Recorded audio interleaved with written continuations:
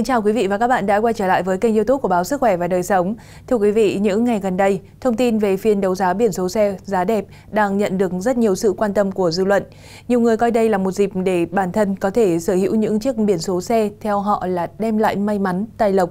Tuy nhiên cũng có một vấn đề đang được dư luận quan tâm, đó chính là liệu có được phép chuyển nhượng biển số xe trùng đấu giá. Theo đó, tổ chức cá nhân sở hữu biển số xe trúng đấu giá sẽ không thể chuyển nhượng biển số một cách độc lập. Thay vào đó, biển số chuyển nhượng phải thỏa mãn một số các điều kiện cụ thể để có thể chuyển nhượng. Có được phép chuyển nhượng biển số xe trúng đấu giá.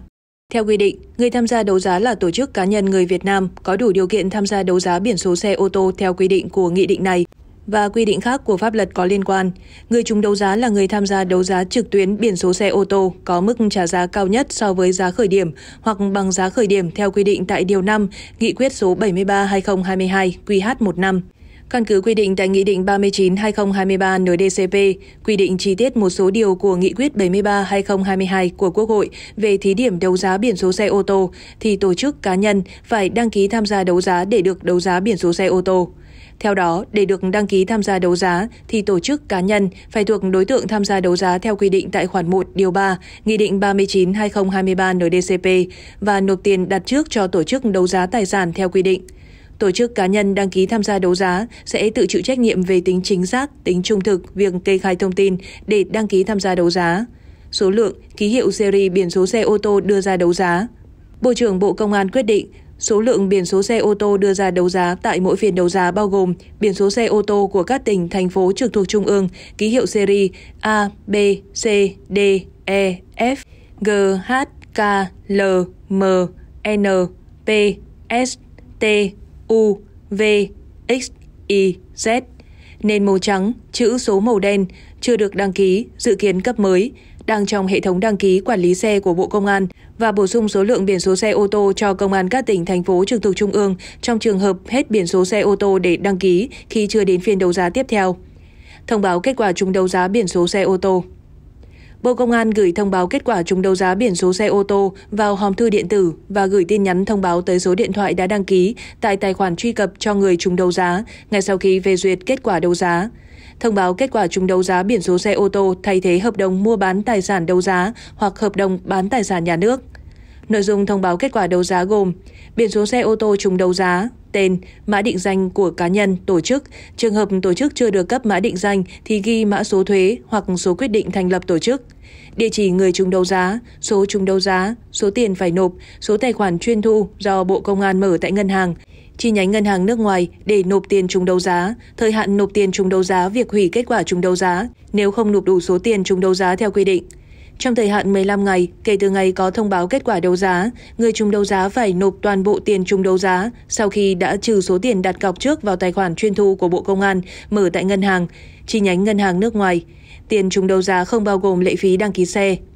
ngay sau khi nhận đủ số tiền trúng đấu giá, Bộ Công an sẽ cấp hóa đơn điện tử bán tài sản công và văn bản điện tử xác nhận biển số xe ô tô trúng đấu giá vào hòm thư điện tử cho người trúng đấu giá để làm thủ tục đăng ký xe. Biển số xe ô tô trúng đấu giá chỉ được cấp cho người trúng đấu giá. Thủ tục đăng ký biển số xe ô tô trúng đấu giá thực hiện theo quy định của pháp luật về đăng ký xe. Việc đấu giá biển số xe ô tô được thực hiện bằng hình thức trực tuyến trên môi trường mạng, phải tuân thủ quy định của pháp luật về đấu giá tài sản, an toàn an ninh mạng, Tiền trúng đấu giá là số tiền mà người trúng đấu giá nộp để được cấp quyền sử dụng biển số xe ô tô thông qua việc được cấp văn bản xác nhận biển số trúng đấu giá. Theo thông tư 24/2023 TT-BCA thì tổ chức cá nhân chỉ được chuyển nhượng biển số xe ô tô trúng đấu giá kèm theo chuyển quyền sở hữu xe đã đăng ký biển số xe trúng đấu giá đó. Như vậy, người sở hữu biển số xe ô tô trúng đấu giá sẽ không được chuyển nhượng biển số một cách độc lập. Thay vào đó, biển số chuyển nhượng phải đi kèm với chiếc xe đã được đăng ký biển số xe ô tô đó. Nếu muốn chuyển nhượng biển số, người mua sẽ phải mua luôn chiếc xe đang gắn biển đó. Thủ tục đăng ký xe đối với trường hợp chuyển quyền sở hữu xe kèm theo biển số trúng đấu giá được quy định cụ thể như sau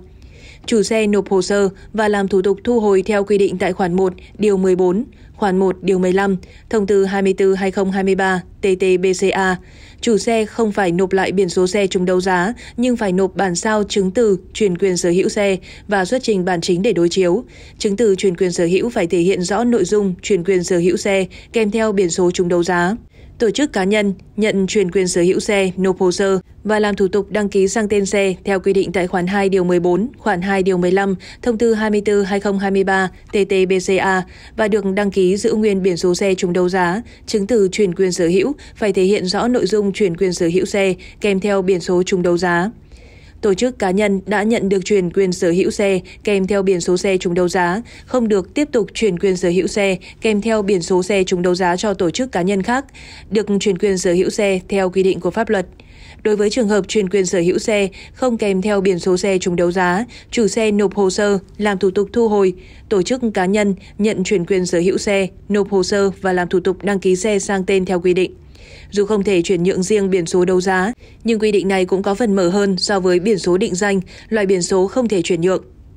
Thưa quý vị, cũng liên quan tới phiên đấu giá biển số xe trực tuyến, bức xúc vì phiên đấu giá biển số ô tô lần một thất bại, nhưng mãi không được hoàn tiền. Nhiều người chủ động gọi điện, gửi thư điện tử cho công ty đấu giá hợp danh Việt Nam nhưng không được phản hồi.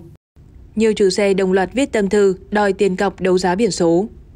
Trước đó vào sáng ngày 22 tháng 8 khi bắt đầu phiên đấu giá đầu tiên loạt biển số ô tô đẹp, trang web của công ty đấu giá hợp danh Việt Nam VPA, đơn vị tổ chức đấu giá trực tuyến biển số ô tô đã lập tức bị sập và không thể truy cập được. Sau khi phiên đấu giá biển số lần thứ nhất thất bại, nhiều chủ xe mòn mỏi đợi công ty đấu giá hoàn tiền cọc nhưng không thấy, đành chủ động gửi thư điện tử để đòi tiền. Tuy nhiên, theo phản ánh của hầu hết các chủ xe, họ gọi điện, gửi email nhưng phía công ty vẫn im lặng và không có phản hồi cụ thể. Một người tham gia đấu giá cho biết, tôi đã thanh toán 200 triệu 500 nghìn đồng để đấu giá 5 biển số. Giờ tôi muốn đòi lại tiền. Tôi đã gọi hotline nhưng không ai nghe máy, gửi email họ cũng không phản hồi. Số tiền hơn 200 triệu, lúc đầu tôi nộp nghĩ là dễ lấy ra. Vì trước đó phía công ty đã thông báo rõ, không trúng đấu giá thì được hoàn tiền sau 3 ngày. Đến giờ tiền thì bị nằm im một chỗ, VPA tự ý thay đổi, ra thông báo mới sau ngày 16 tháng 9 mới có lịch đấu lại. Thực sự tôi rất bức xúc, cảm thấy cuộc chơi không công bằng, không minh bạch. Công ty đấu giá hợp danh Việt Nam cho biết, đối với 11 biển số ô tô siêu đẹp đấu giá ngày 22 tháng 8 nhưng chưa được thực hiện, quyền tham gia đấu giá của toàn bộ khách hàng đã nộp lại tiền, tiền đặt cọc trước đối với các biển số này được bảo lưu theo quy định. Công ty đấu giá hợp danh Việt Nam khẳng định 11 biển số ô tô này sẽ được đấu giá trước ngày 16 tháng 9, còn thời gian chi tiết sẽ được gửi tới khách hàng đã đăng ký trước ít nhất 3 ngày trước ngày đấu giá. Trường hợp khách hàng cần cung cấp thêm thông tin, có thể liên hệ theo số hotline 1900 0555 15 hoặc hòm thư điện tử dgbsa.vpa.com.vn. Bà Lâm Thị Mai Anh, giám đốc công ty đấu giá hợp danh Việt Nam cho biết, công ty sẽ liên hệ đến khách hàng đã nộp tiền đăng ký tham gia đấu giá để giải quyết khoản tiền hồ sơ, tiền đặt cọc của khách hàng theo quy định của pháp luật và quy chế đấu giá biển số ô tô đã ban hành. Do đã hết thời hạn nộp tiền đặt trước, nên không phát sinh thêm khách hàng đăng ký tham gia đấu giá đối với 11 biển số xe ô tô chưa tổ chức đấu giá ở phiên đấu giá thứ nhất. Ngoài 11 biển số này, khách hàng có nhu cầu tham gia đấu giá có thể tiếp tục nộp hồ sơ, tiền đặt cọc trước thời điểm tổ chức đấu giá 3 ngày.